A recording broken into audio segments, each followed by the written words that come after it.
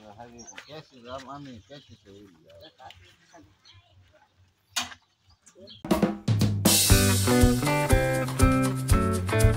guys good morning and welcome to my new blog तो guys आज रात को हमारे गाँव में एक इंसिडेंस हो गया।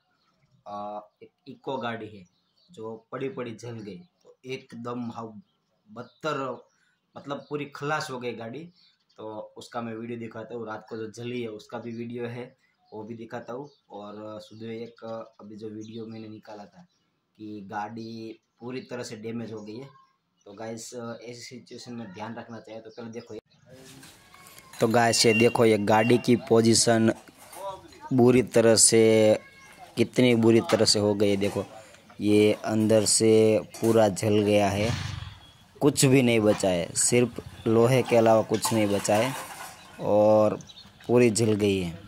ये देखो कितनी ख़राब हो गई। टोटली डैमेज हो गई है गाड़ी और ये गाड़ी पूरा पूरा पूरा। अब तो ये कोई काम की बची नहीं है। तो गैस ध्यान रखना चाहिए कि और ये देखो एक गाड़ी पड़ी थी इधर घर के अंदर वो तो बाहर निकाली है अभी। तो इधर पड़ी थी तो इधर जल के पूरा देखो ऊपर से भी पूरे लकड़े बकड़े सब जल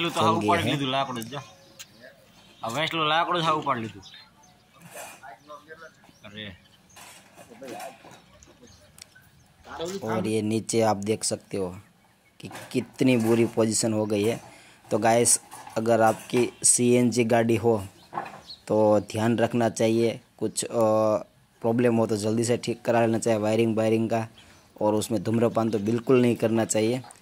तो कुछ बातों का ध्यान रखना चाहिए। देखो देख नहीं तो परिणाम बहुत ज़बरदस्त आता है, ये देखो।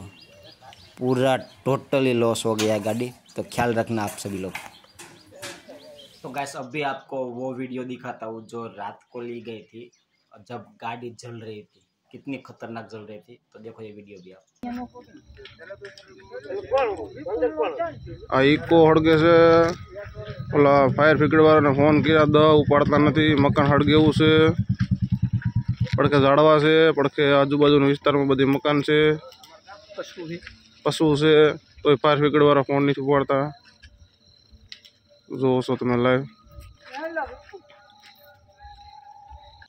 तो गैस एक छोटी सी गलती का परिणाम बहुत ही भयंकर आ सकता है तो छोटी से छोटी गलती ना हो उसका ध्यान रखें खास करके जब सीएनजी वाहन हो तो उसमें जरा से भी बेदरकारी ना करें और अपना सबका ख्याल रखें और गलती बिल्कुल भी ना करें चलो मिलेंगे कल एक नए दिन के साथ एक नए ब्लॉग के साथ तब तक के लिए